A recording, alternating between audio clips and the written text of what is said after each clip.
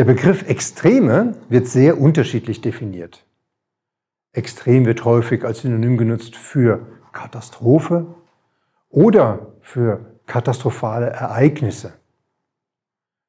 Grundlegend unterscheidet man in zwei Aspekte.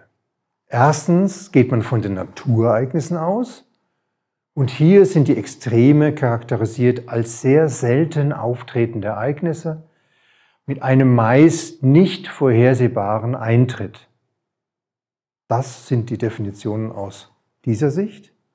Ein anderer Zugang ist, dass Extreme über die Konsequenzen definiert sind. Das heißt, es sind Ereignisse mit zumeist nicht vorhersehbaren Auswirkungen und großen sozioökonomischen Folgen.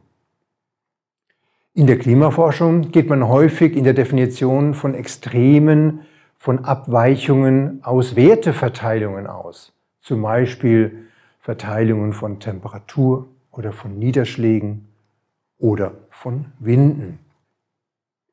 Diese statistische Darstellung von Extremen sei an dieser Abbildung aus dem Intergovernmental Panel of Climate Change, kurz dem IPCC, erläutert. Gezeigt werden jeweils Normalverteilungen von Messwerten und exemplarisch für drei Möglichkeiten von Abweichungen werden gezeigt. In dem oberen Bereich, mittleren Bereich und unteren Bereich. In der oberen Grafik verschiebt sich die Normalverteilung in den wärmeren Teil. Das heißt, es gibt mehr heißere Tage. Gleichzeitig aber auch auf der linken Seite der Grafik weniger kalte Tage. In der mittleren Grafik nimmt die Variabilität zu. Das heißt, es gibt mehr heiße Tage, gleichzeitig aber auch mehr kalte Tage mit Extremen, wobei die Symmetrie der Verteilungen gleich bleibt. Im letzten Beispiel, in der unteren Grafik, ändert sich aber auch die Symmetrie der Verteilung.